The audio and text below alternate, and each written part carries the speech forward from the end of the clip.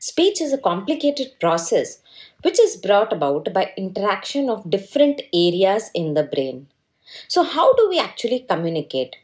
We can communicate by expressing our uh, thoughts in terms of language that is by speaking and uh, we can also express by writing and also by sign language. So using the hand gestures also.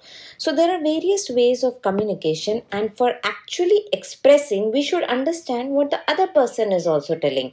So we need to hear what the other person is speaking and uh, in case of writing we need to read and interpret the meaning of the words and we need to understand what is the meaning of the sign language which the person is using or any hand gestures what uh, the person is using. So for that we need to basically interpret what is coming from outside or maybe what is coming from inside that is from our internal thoughts. That also we express isn't it?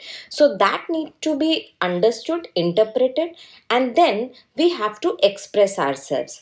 So for this there are various areas.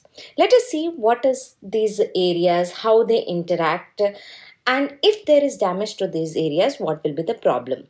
So first important area is wernicke's area. Wernicke's area. This area is important for comprehension that is understanding the speech. This area is located in the superior temporal gyrus just posterior to the auditory area. So that is Wernicke's area and if we see the Brodmann's area, what is it? It is area number 22. Then there is another one that is Broca's area and Broca's area is located in the inferior frontal gyrus. This is Broca's area and in Brodmann's area term it is area number 44. Now, when we are talking about uh, these areas, we mean that these areas are located in dominant hemisphere.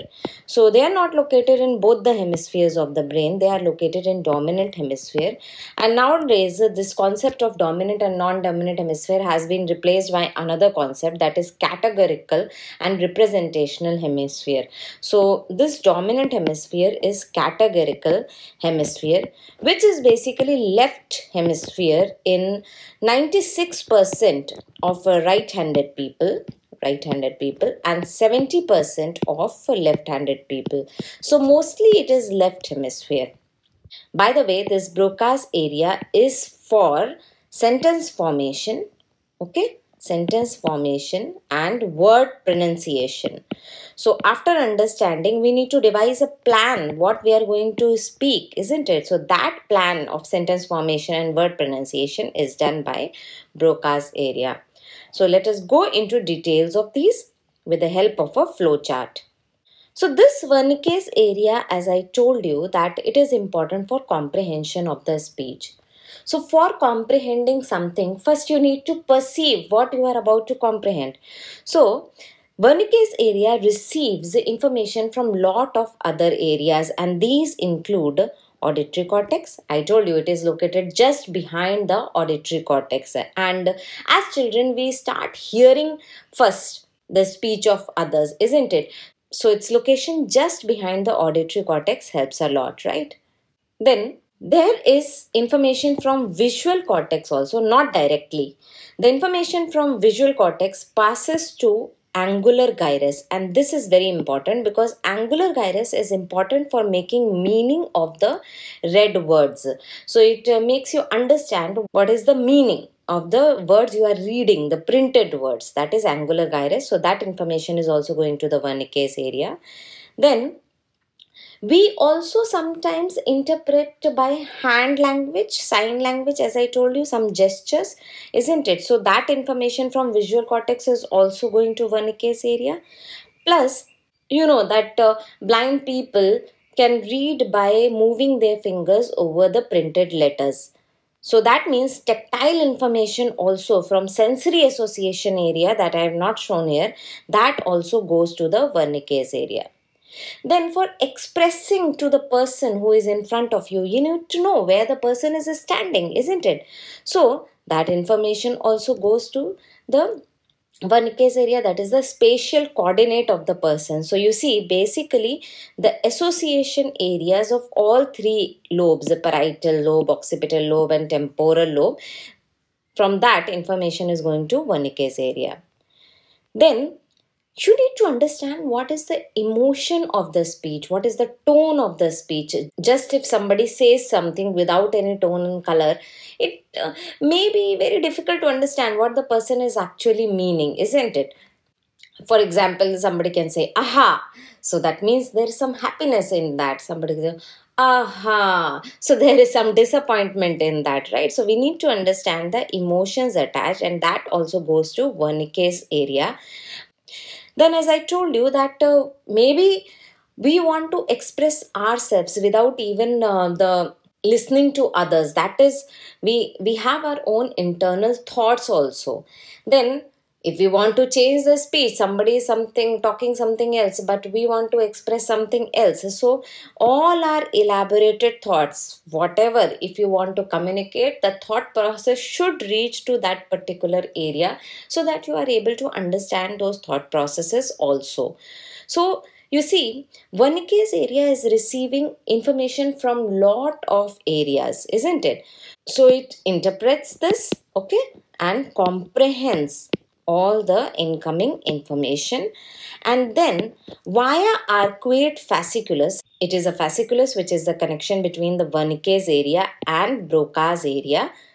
So via arcuate fasciculus Wernicke's area sends the information to Broca's area which as I told you is important for sentence formation right? And word pronunciation word pronunciation. And after that, this Broca's area sends the plan to the motor cortex. Because we have to express ourselves and for that entire motor machinery has to be recruited. So that is motor cortex basal ganglia cerebellum and that is important for articulation. That is movement of the mouth lips tongues jaws for proper expression or maybe the hand gestures so we need proper coordination for this, proper initiation and stoppage of movement which will be brought about by the basal ganglia, right? Then there is another area that is the Exner's area located in premotor cortex, Exner's area. That is important for expression of the written words, for writing our speech.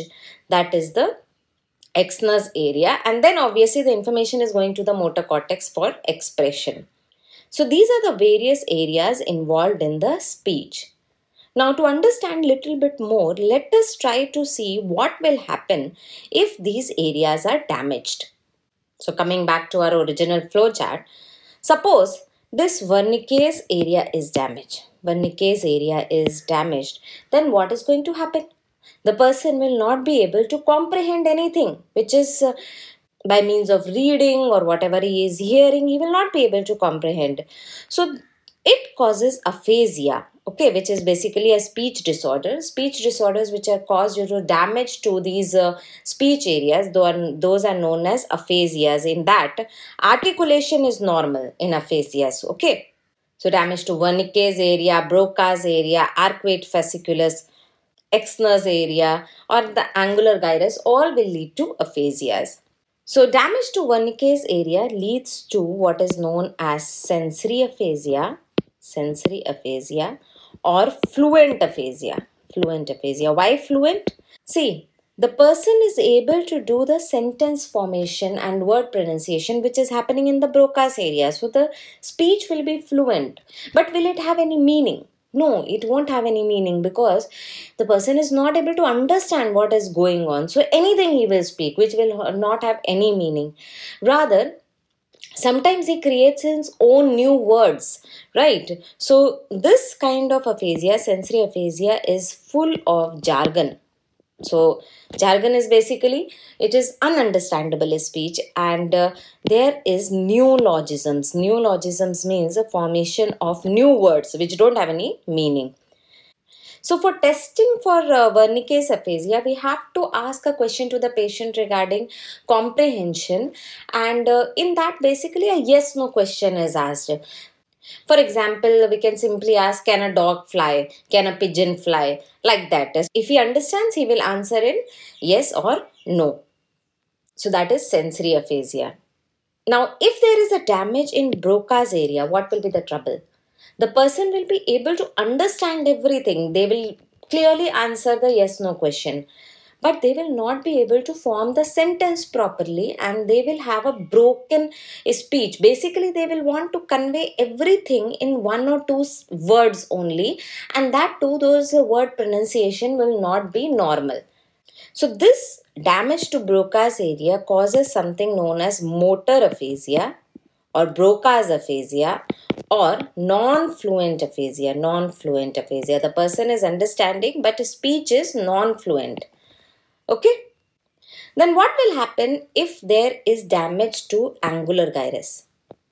See, I told you angular gyrus is important for making meaning of read words, printed words.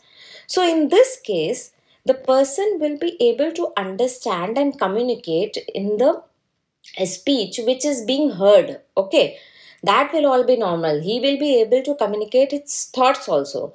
But when given something to read, then they will not be able to interpret that. So, inability to understand the printed words that is angular gyrus aphasia or what is dyslexia. So, that is causing dyslexia, right? Next, if there is damage to Exner's area, which I told you is for expressing the written speech, then what will happen? Again, the person will be able to express himself verbally but will not be able to express himself by writing. So, that is when damage to Exner's area occurs. Okay. Now, what will happen if there is damage to arcuate fasciculus? What will happen? That is known as conduction aphasia. Conduction aphasia. So, the person will be able to understand what the person is hearing or the, what the person is reading, but the information will not go to Broca's area. Okay, so it is like Broca's area will make sentence formation, will do word pronunciation, but there is no connection with Wernicke's area. So that uh, speech will also be meaningless. Okay, so it is a kind of fluent aphasia only because the person is speaking normally. Broca's area intact means it will be fluent aphasia.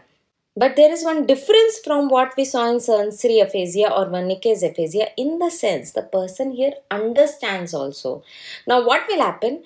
The person will speak and he will speak something nonsense, full of jargon. Now, he will understand his own words and he will understand that okay, he is speaking something which is totally nonsense. So he will try to correct himself again and again. So that is conduction aphasia, which is basically a kind of fluent aphasia. Another type of aphasia is global aphasia. What is global aphasia?